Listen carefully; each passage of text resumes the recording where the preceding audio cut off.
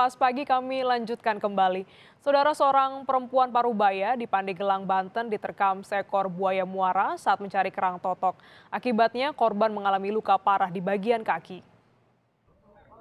Ya Allah.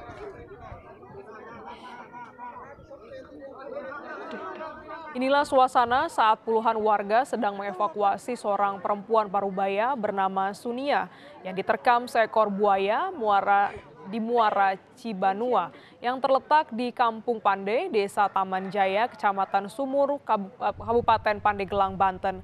Sebelum kejadian, saudara Sunia yang sedang mencari kerang di area muara digigit kakinya oleh buaya dan berteriak meminta pertolongan warga setempat. Dengan dibantu salah seorang keluarga, Sunia berhasil melepaskan diri dari buaya itu.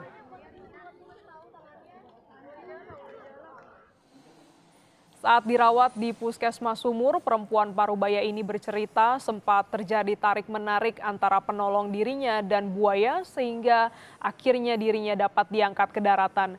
Kami sengaja menyamarkan visual ini untuk kenyamanan pandangan mata Anda.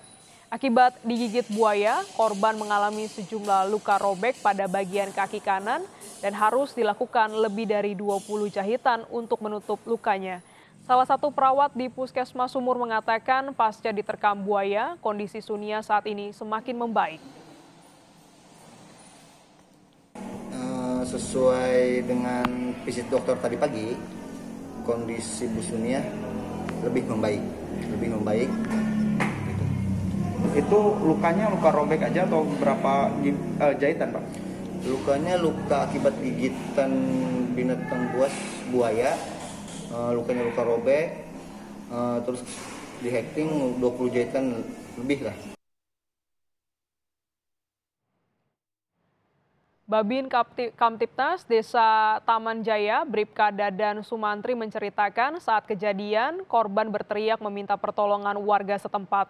Seorang warga yang masih kerabat korban yang sedang mencari ikan berusaha menolong korban yang ditarik buaya ke dasar air. Setelah 20 menit berjuang, korban akhirnya berhasil ditarik ke daratan. Kronologisnya ibu tersebut lagi mencari kerang uh, untuk uh, apa? Uh, untuk kesehariannya. Kemudian sekitar pukul 15 ibu tersebut minta tolong karena diterkam buaya. Kebetulan di sekitar tempat kejadian ada saudaranya langsung menolong dan uh, saudaranya tersebut saling tarik menarik dengan buaya yang menerkam ibu itu. Infonya buayanya ini kerap muncul ke permukaan ya bang ya? Ya untuk sehari-harinya emang untuk sekitaran pesisir Taman Jaya sering muncul buaya